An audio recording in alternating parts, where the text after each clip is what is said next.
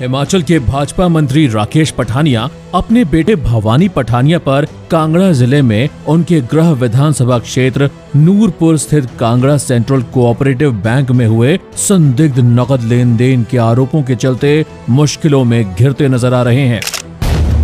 नूरपुर से ही भाजपा नेता रणवीर सिंह निक्का सहित पूर्व ब्लॉक अध्यक्ष लेखराज शर्मा व दिलबाग गुलेरिया, जिला भाजपा किसान मोर्चा के पूर्व नेता रमेश शर्मा, जिला भाजपा पंचायती राज प्रकोष्ठ के पूर्व संयोजक जितेंद्र पठानिया, पूर्व जिला उपाध्यक्ष अतुल शर्मा, पूर्व ब्लॉक उपाध्यक्ष अवतार धड़वाल पूर्व जिला कार्य समिति सदस्य राजेंद्र सिंह, पूर्व भाजयुमो सचिव अनिल और पूर्व ब्लॉक समिति सदस्य विपिन शर्मा ने जयराम सरकार में वन मंत्री के खिलाफ खुलेआम मोर्चा खोल दिया है बुधवार को धर्मशाला में अपने समर्थक नेताओं संग प्रेस वार्ता कर निक्का ने आरोप चढ़ा कि मंत्री पुत्र भवानी पठानिया ने कांगड़ा बैंक में जो नकद लेन देन किए हैं, वो संदिग्ध व लोन रिकवरी के नियमों के खिलाफ हैं। निका ने कहा कि मंत्री पुत्र ने तेरह लाख रुपए का कर्ज लेकर एक स्कॉर्पियो गाड़ी खरीदी, लेकिन यह कर्ज महज चार माह में नगद चुका दिया। और तो और,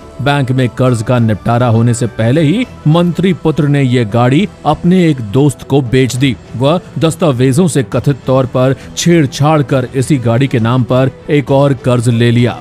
निक्का बोले, मैंने सरकारी एजेंसियों को 48 घंटे के भीतर इस मामले में कार्यवाही का अल्टीमेटम दिया है। अन्यथा हम इसे लेकर उच्च न्यायालय जाएँगे। उन्होंने कहा कि लोगों को धन की बंदरबाट व दस्तावेजों से छेड़छाड़ के पीछे की वजह जानने का अधिकार है। निक्का ने कहा कि वह इस मामले की लिखित शिकायत आयकर विभाग के अधिकारियों से करेंगे। बैंक के अधिकारियों से भी सूचना के अधिकार नियम के तहत जानकारी मांगी जाएगी।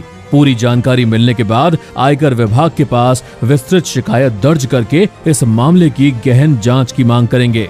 उधर वन मंत्री के पुत्र भवानी पठानिया ने संपर्क किए जाने पर अपना पक्ष रखते हुए कहा है कि उन्होंने कांगड़ा केंद्रीय सहकारी बैंक को लोन मामला निपटाने के लिए पूरे नियमों व तय प्रक्रिया के तहत रकम चुकाई है। भवानी बोले, मुझ पर व मेरे पिता पर आधारहीन आरोप लगाने वाले लोगों पर मैं मानहानि का केस दर्ज करवाऊँगा।